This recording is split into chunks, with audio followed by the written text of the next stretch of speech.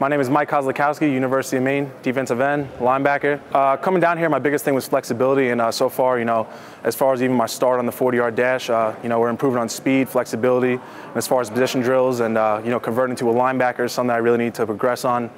And through my time through these past couple weeks, we've been really been progressing on you know position drills and as far as everything in general, all the drills that we're going through on pro day. Yeah, I could definitely feel myself getting faster. And as far as you know, breaking down to the mechanics of the 40, um, you know, a certain amount of steps and a certain amount of yards. It's something definitely that they uh, strive on down here, and they put a big emphasis on you know your technique. And throughout that, I just feel every single day I'm getting faster, and you know, even agility-wise, everything's progressing. You see your body changing. You feel like you're getting stronger. Yes, most definitely. I feel myself getting stronger and definitely more explosive. Um, besides just you know lifting, you know, throwing weight around.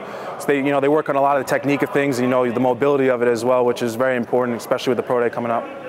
I'm one of the guys, I'm not from close around here, I'm from New York, so definitely uh, it's nice to come down here into a family atmosphere and every single day, you know, you're walking into an atmosphere where people care about you and their, their main point is just to get you better.